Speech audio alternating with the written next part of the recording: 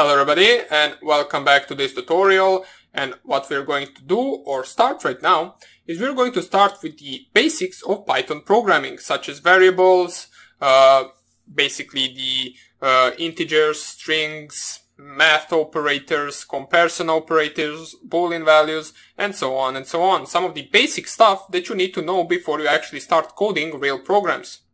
Of course, you will need to be familiar with the variables themselves. You need to know what integer is. You need to know what string is. You need to know how to do simple calculator uh, operations such as additioning, multiplication, division, exponent, and so on and so on. We're going to take a look at all of that in this lecture right here, or basically we're going to take a look at the math operators in this lecture. Uh, and later on we will see more about the variables themselves. So First of all, open up your idle, which I already have opened right here. You can enlarge it if you want to. I have this print statement from the previous lecture. Let me just go right here. Okay, I will just reopen it so we have a new and a clean version open. So idle 64-bit, here it is. Okay, I will enlarge this and we can see that we have a simple three line or three arrows right here indicating that we're going to type a command right here. So first of all, uh, you can take a look at the idle as a big calculator. So for example, if you just type here 2, it will print 2.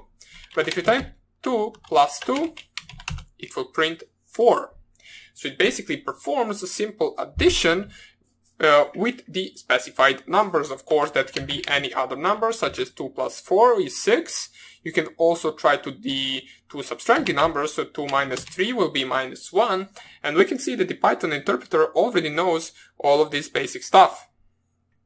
So therefore, we can conclude that the division, that the, pardon me, that the actual uh, addition and the actual subtraction, as we can see right here, is performed same as in the real world.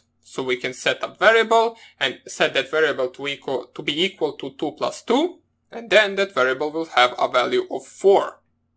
But there are some different things that we also need to consider in the math operators. So we saw the addition and the subtraction.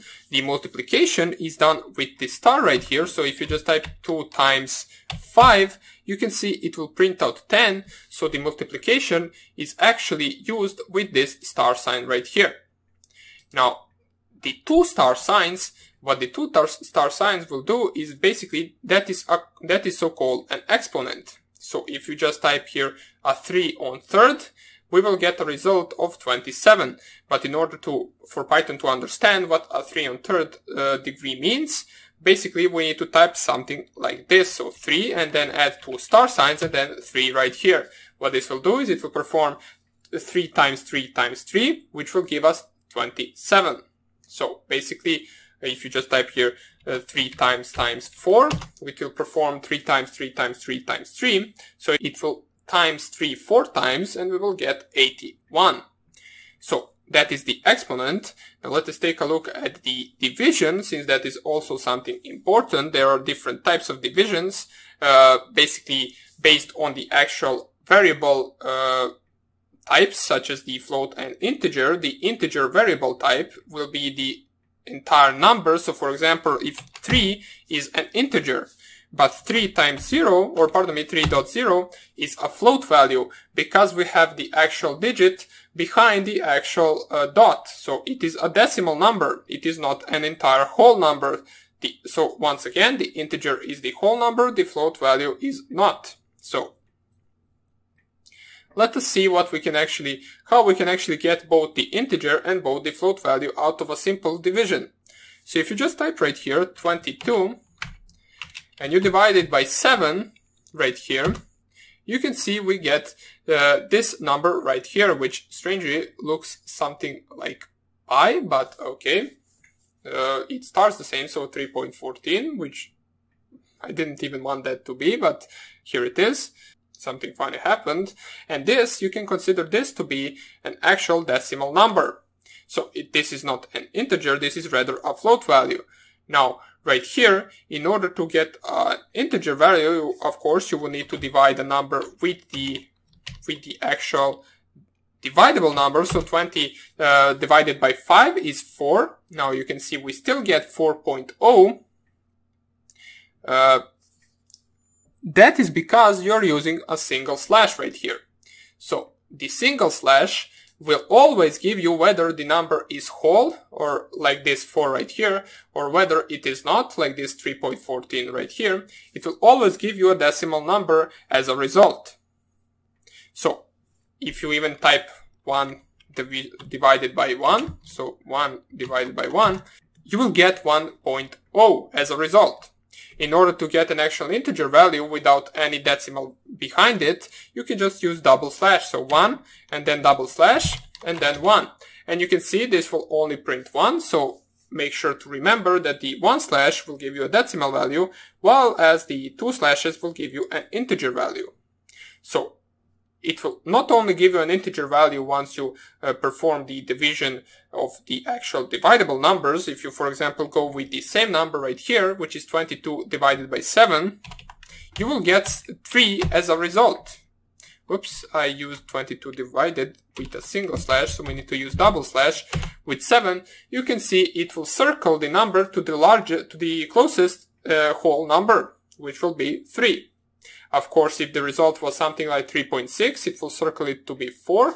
So let me just try it right here. If you just go with 7, okay, so 25 with 7. Okay, so if you just now divide 25 and then two slashes with 7, okay, so it will always, oh yeah, it will actually always circle it to the lower number. It doesn't work like in math. So for example, if you had 27 divided by 7, you can see that the 27 divided by 7 is 3.85, which if you actually encountered in math, you would circle it to the whole number, which is the closest, which would be 4. But Python 3 will always uh, circle it to the lower number, which in our case will be 3. So if you just use 27 and the two slashes 7, you can see we still get 3 as an answer. Now, another thing that we need to take a look at in Python 3 is the module, which is the remaining of the actual division. Now, the module is referred to in Python 3 with the percentage sign, so this sign is referred to as a module in Python 3. And what this module will do is it will perform a simple division. So for example, if you just use 22, or let me just divide it normally, so 22 divided by 8, you can see the result of 22 divided by 8 is 2.75, which means the 8 goes in 22 2.75 times. But what this will do is it will see, what the module will do is it will see uh, how many times does 8 go in the 22 and we can simply perform it in our mind. We know that 8 goes in 22 two times, which will give 16 and the remaining will be 6. So 16 plus 6 equals to 22. So what module, so 22 module 6, or pardon me, 8, will give 6 as a result. Because 22 equals 2 times uh, 8 plus 6. So that is the basic understanding of the actual math operators. Those are all that there are. Now we're going to look at different operators later on, such as the comparison operators, the smaller, the larger number, and so on and so on. But for now on, this will be enough. One more thing that you need to know is which of these actually comes first. Now also something to take a look at is the actual uh, privileges of these different math operators. So we know that in that in math, the actual division has more privileges than the actual subtraction and addition. But in but in Python 3, the actual biggest privileges have the brackets. So for example, as in math, if you specify open and close bracket, you can see right here, I already try something, and you type, for example, 5 plus 5, and times it with 2, the result by math right here should be 20, since 5 plus 5 is something that we do first, which is 10, and then we times it with 2, which is 20. And if you just press here enter, the result in Python 3 will be the same, so we know that the actual uh, brackets have the, the biggest privileges in Python 3 as well. But right after the brackets, if you, for example, wanted to perform something that didn't have brackets, the privilege comparison would be something like this. The biggest privileges would have the exponent, which is these two stars right here. Then after the exponent goes the actual multiplication. After the multiplication goes the division with a single slash. We know the division with a single slash will give us a decimal value. After the division with a single slash comes the division with two slashes, which will give us the integer value, whether that number is div divisible by that actual number or not. Right after the double slashes go the actual uh, module, all these percentage sign, and right after it goes the plus and minus, which is the last privilege math operators in Python, as well as in math as well. So that is something also that you should take a look at. So for example, let us give it a try. Let us try to divide and also multiply, uh, and also multiply numbers at the same time. So if you go 2 times 2, and then slash 2, or let's do slash actually uh, 3, let me just check out right here.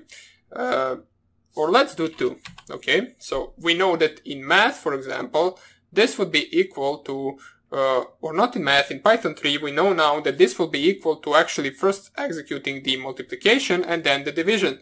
So this should be equal to 2 if you press here enter. And it is.